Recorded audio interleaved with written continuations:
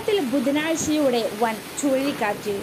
നിക്കോബാർ ദ്വീപുകളുടെ അടുത്തുള്ള ന്യൂനമർദ്ദം ശക്തി പ്രാപിച്ച് വടക്ക് പടിഞ്ഞാറ് ഭാഗത്തേക്ക് സഞ്ചരിക്കുന്നതിനാൽ ചൊവ്വാഴ്ച വൈകുന്നേരത്തോടു കൂടി ഡിപ്രഷനായി മാറുകയും പിന്നീട് ശക്തി പ്രാപിച്ച് ബുധനാഴ്ച വൈകുന്നേരത്തോടു കൂടി ചുഴലിക്കാറ്റായി മാറുകയും ചെയ്യും.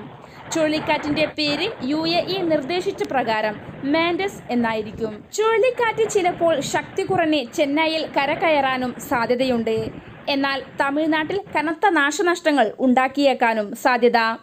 കേരളത്തിൽ വ്യാഴാഴ്ച അർദ്ധരാത്രിയോടുകൂടി മഴ ലഭിച്ചു തുടങ്ങുമെന്നും അറിയിപ്പ്. ഇതിനെല്ലാം അപ്പുറം മനുഷ്യരാശിയെ ആശങ്കപ്പെടുത്തുന്ന ദൃശ്യങ്ങളാണ് വിവിധ രാജ്യങ്ങളിൽ നിന്നും ലഭിക്കുന്നത്. കുതിരകളുടെയും ഉറുമ്പുകളുടെയും ഓർക്കകളുടെയും കൂട്ടങ്ങൾ വ്യക്തമായ കാരണമില്ലാതെ ദിവസങ്ങളോളം തികഞ്ഞ വൃത്തങ്ങളിൽ ചുറ്റിക്കറങ്ങുന്നതാണ്. സമീപ ദിവസങ്ങളിൽ ആശങ്ക ഉളവാക്കുന്ന വാർത്ത. ഭൂമിയിൽ വരാനിരിക്കുന്ന കാര്യങ്ങൾക്കായി നാം തയ്യാറെടുക്കണമെന്നാണ് ഗവേഷകർ പറയുന്നത്. ഭൂമിയുടെ കാന്തികാന്തരീക്ഷത്തിന്റെ മാറ്റത്തിന്റെ ഫലമായാണ് മൃഗങ്ങൾ വൃത്താകൃതിയിൽ ചുറ്റിക്കറങ്ങുന്നത് എന്നാണ് ഗവേഷകർ അഭിപ്രായപ്പെടുന്നത്. ഇതിനെ തുടർന്ന് യു എസ് എയർപോർട്ടുകളിൽ വലിയ മാറ്റങ്ങൾ വരുത്തി.